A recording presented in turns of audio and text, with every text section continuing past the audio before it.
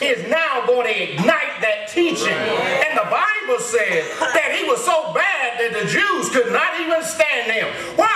Because when the anointing strikes and he proclaimed the word of God, they didn't have an argument for it. Didn't like it, but couldn't do nothing about it. The Bible says.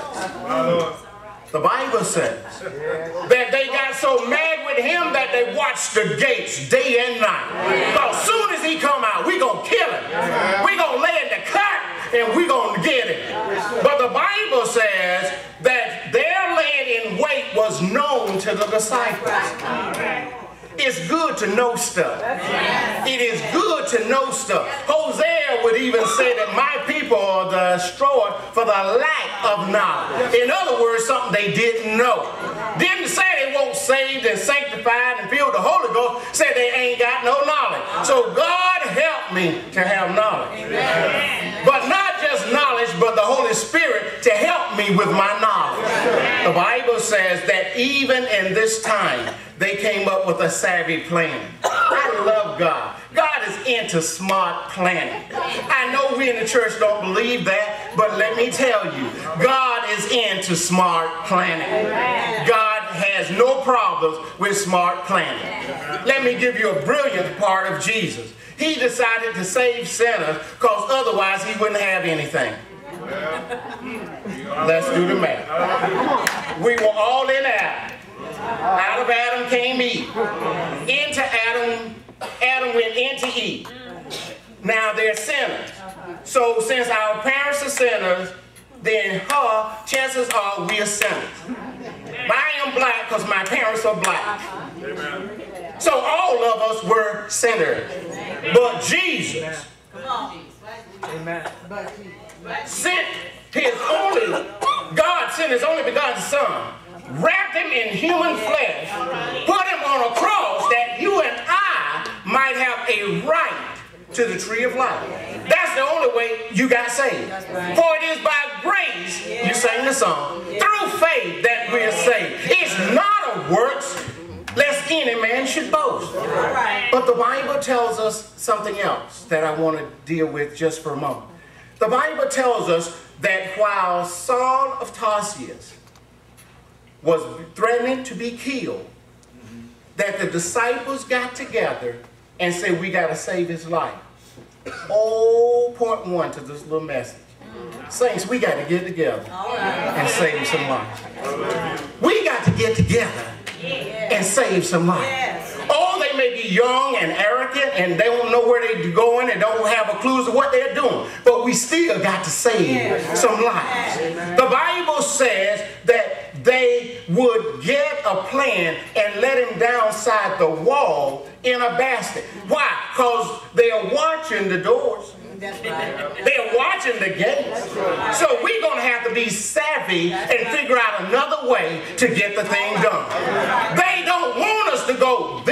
Way, the mainstream, but you know what? We got God. So we can create a will, a well of water in a wilderness. We can create rivers in the desert. In other words, we can go another way and make it work anyway. And in spite of all that you can do to stop it, as Hammer would say, you can't touch this.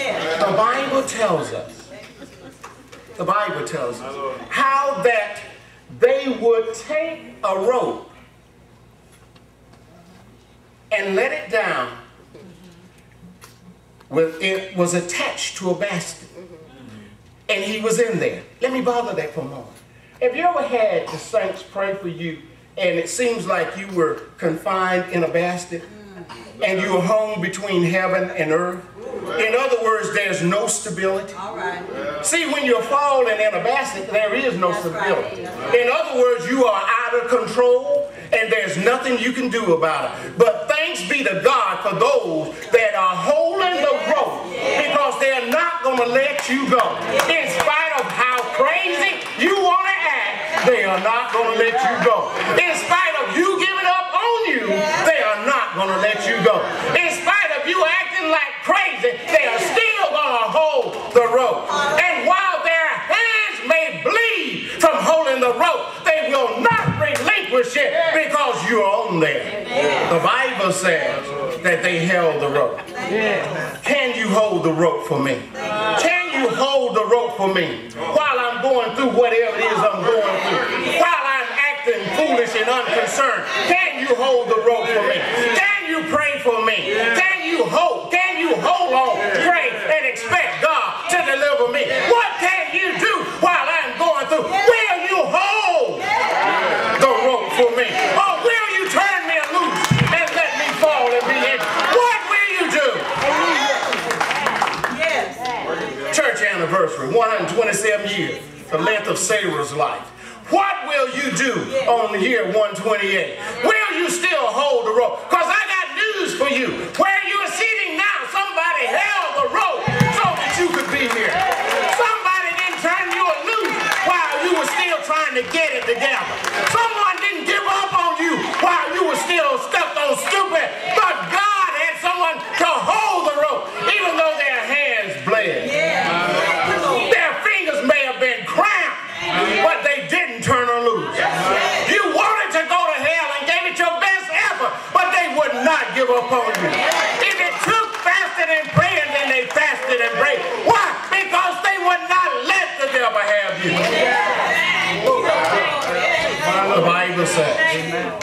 Hallelujah. that he finally reached the ground and he escaped under the cover of darkness. Under the cover of darkness, he escaped. God help me to hold the rope for that brother that's stuck on stupid. Help me to hold the rope for that sister that's stuck on stupid. Help me to hold the rope for that cousin that don't have a clue and don't want a clue. God help me to hang in there and not give up on them. God help me to understand that God is looking for a man that will stand in the gap and pray for me when the instruction should be mine. That he says, God, your word said that you can ask for deliverance for those that have been on destruction and it would be granted. So God spares life one more time. God, I know that this is the fourth trip around the mountain, but